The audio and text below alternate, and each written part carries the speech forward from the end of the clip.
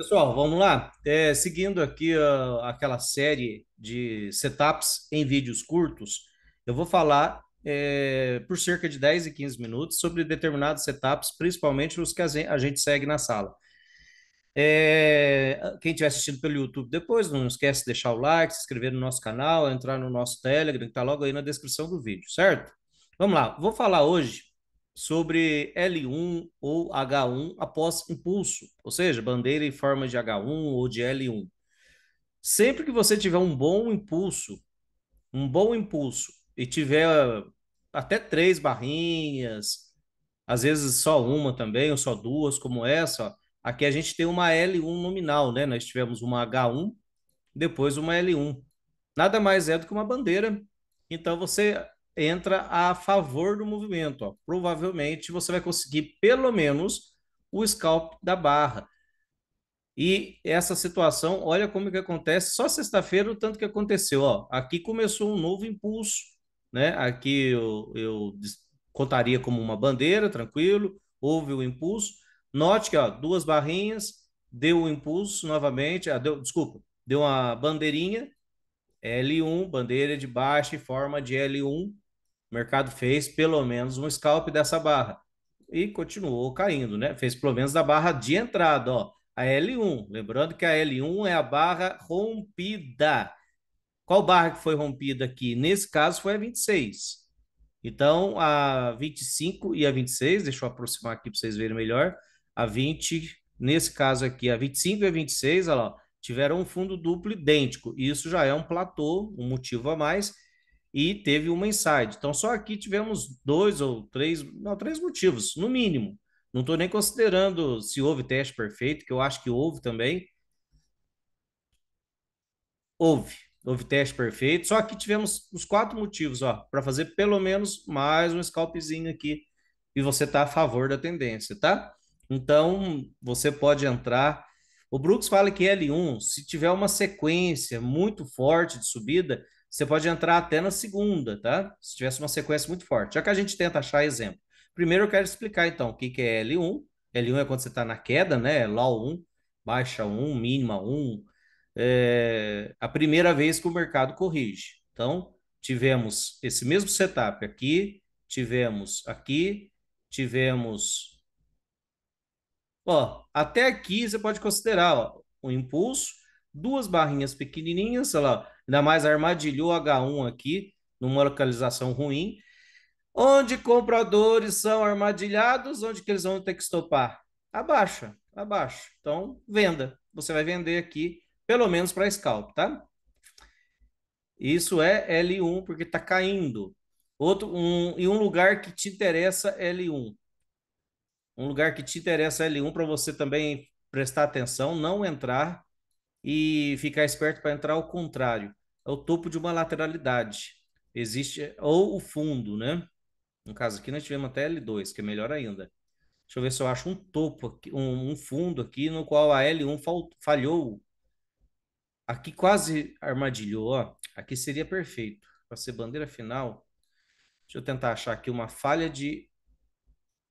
Ou de H, né? Ó, vamos aqui. Impulso.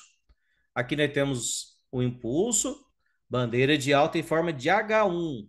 Ó, não chegou nem a romper para baixo. E pelo menos um por um deu. Se não der um por um, deixa eu é, medir aqui para vocês verem. Se não der um por um, nesse, nesse, deu um por um, beleza? Então você já ganhou um scalp aqui. Se por acaso não desse, seria uma armadilha de H1 num topo. Eu considero um topo porque se eu olhar para trás, está perto de algum topo relevante. Essa a falha justifica eu entrar vendido no que seria uma L, H, L1 depois, né? L1 nesse caso aqui. Deixa eu desenhar certinho. Aqui eu tenho uma H1.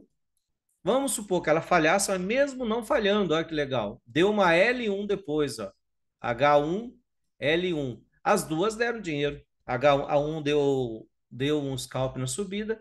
E a L1, como teve micro topo duplo, teve pivô aqui, também deu dinheiro. Lembrando que nesse dia quem dava está no YouTube, está até gravado. Nós pegamos essa venda, essa, essa compra, essa venda, ainda depois pegamos aqui essa compra de novo. Ó.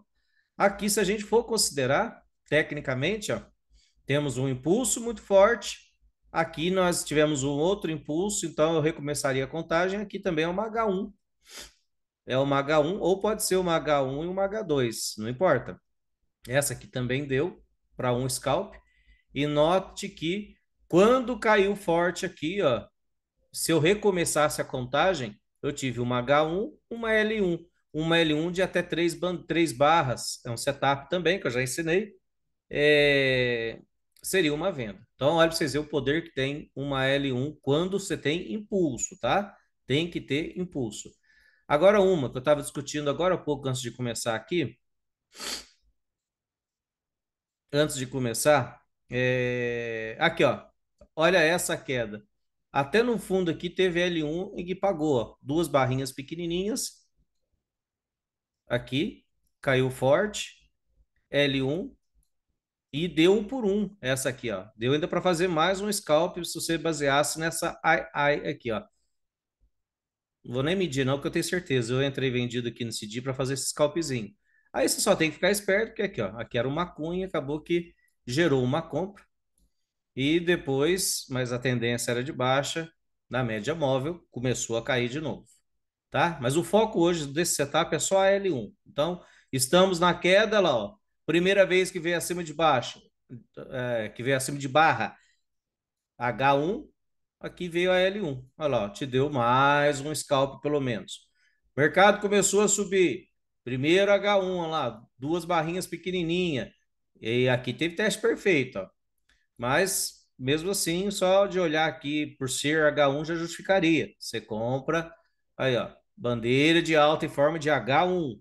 É uma bandeira, é uma pausa o preço deu um impulso, faz uma pausa para retomar a alta, provavelmente, geralmente, é, vai seguir o movimento antecessor. Então, se estava subindo, vai continuar subindo, pelo menos mais um pouco.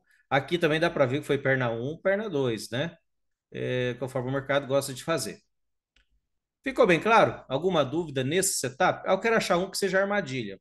Que aí, um que tenha acionado armadilha. Aqui, por exemplo, ó, nós temos essa queda forte. Não chegou a ser acionada a L1, mas nós temos uma L1 sintética, né? Já ensinei isso em muitos outros vídeos. O que, que é L1 sintética? O mercado teve a intenção de cair aqui, ó, de retomar essa queda. Ele estava caindo, corrigiu, acionou H1, teria que acionar aqui abaixo, né? Para ser uma L1 nominal. Não acionou, virou L1 sintética. Mas eu conto ela como L1 aqui já, H1, aí eu conto ela como L1, que aí eu tenho uma H2 aqui, ó. Uma H2 é, já no fundo, ou numa falha de rompimento, ou se eu olhar aqui para trás vai ter alguma, algum suporte, já posso considerar aqui como uma H2. Deixa eu achar um, tentar achar aqui antes de encerrar esse vídeo. Falha de H1 no topo, ó. Mesmo que aqui, ó, aqui nós temos um topo do dia anterior, a máxima, né? Deixa eu marcar aqui. Olha lá, a maioria dos rompimentos não falham. Então, nós tivemos aqui em cima um forte impulso, H1. Eu não sei se deu um por um, eu vou medir, mas mesmo que não desse, ó, o mercado falhou em continuar. Aqui, ah, foi vale de H2, ó. Eu vou contar para vocês, espera aí, só vou considerar, eu só vou medir aqui para ver se pelo menos a, a 6 pagou. A 6 não pagou não deu um por um. Isso aqui, então, falha de H1 no topo. Já me justifica vender, que falhou, né? Então, já poderia ter vendido na 8 aqui, ó. Mas vamos lá, vamos fazer a contagem para vocês verem. É, tem um impulso, H1, L1, porque a 8 foi superada abaixo, H2, o, mer o mercado não conseguiu retomar, então armadilha de H2 no topo, falha de H2 no topo, Aí você vai vender, porque aqui é uma L2 e olha que legal, duas pernas para baixo, pelo menos duas. Depois que o gráfico fica pronto, fica mais fácil falar né, que aqui foi uma perna, aqui parece que foi duas, mas não importa. O que importa é, é, é o gráfico correndo e o máximo de pontos que você conseguir conforme o gráfico for se desenhando. Olha aqui, ó, um atrás do outro, gente. L1, aqui, ó. Aqui eu já tive uma L2. Então, beleza, melhor ainda. É, então, eu mostrei todos os exemplos, né? é, L1, H1 e falhas dela. A falha de H1 no topo. Aqui também, ó, um impulso. Aqui seria como se fosse uma L1 também, é uma pausa, ainda que seja uma L1 sintética. Ó, o mercado falhou, então foi para cima. Alguma dúvida relacionada a esse setup? Não, só para falar, a L1 geralmente, L1 ou H1 geralmente está envolvida com aquele que a gente estava conversando esses dias, que é o comprimento da microlinha de tendência, né? A gente usou bastante. Sim, sim. Aí falhou, né? A microlinha de tendência, vamos supor, nós aqui nós tá, estamos subindo, tem uma microlinha de tendência. Rompeu abaixo dela, então você compraria acima. E falhou também, então virou falha da falha, né? Aí é um setup bom para se operar contra, quando vira falha da falha. Mais alguma coisa? Algum acréscimo? Alguma coisa que eu deixei de falar que vocês lembram dentro do livros? Sobre H1 no topo de uma lateralidade, por exemplo? Eu falei, quando falha, né? No topo de lateralidade, foi esse aqui que eu mostrei, ó. Essa H1 falhou, então acabou que já justificava vender a 8. Quem vendeu e segurou lá, não foi estopado, caiu. E ainda depois ainda deu falha de H2 aqui, ó. Só armadilharam os compradores de H2. Só acionou a compra e já caiu. Deixa eu ver se eu acho para ficar idêntico. Aqui, ó. Falha de L1 no fundo. Aí, ó. Quando falha, ó, tem um impulso. Tá perto do fundo aqui, ó. Acionou uma L1 aqui no fundo, ó, perto do fundo. Acionou, olha lá, veio acima, compra. O mercado foi embora. Então, ou seja, em extremos, se ela falhar, você aposta a conta, até porque você vai estar tá baixo. Então, falha de L1 e falha de H1, né? Quando tiver no topo, se falhar, você aposta contra.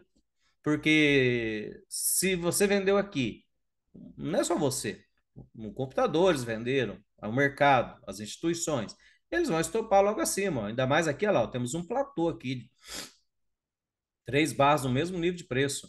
Então, um monte de gente vai estar com stop aqui, ó. E querendo ou não, ainda tem outros fatores, ó, barra de desistência. Aí vai ter outros fatores que né, eu já expliquei em outros vídeos. Beleza?